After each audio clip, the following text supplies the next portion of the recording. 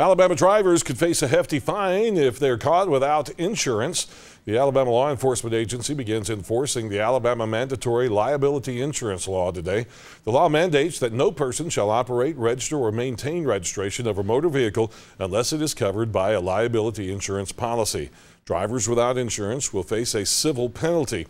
Offenders who do not pay their civil penalty within 45 days will also face a 90-day driver's license suspension. The first offense begins at $200, the second offense is 300, and the third or subsequent offenses are $400 each.